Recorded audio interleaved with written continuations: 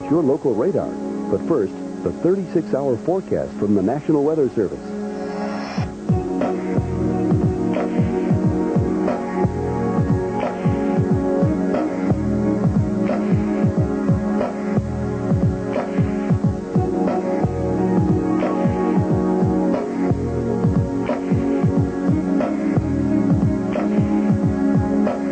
Special regional information.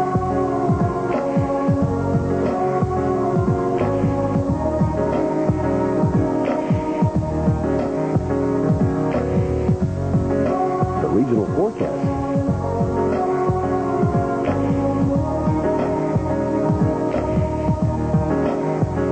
The current local radar showing any precipitation in your area. Intensity is indicated by the color code at the top of the screen, showing any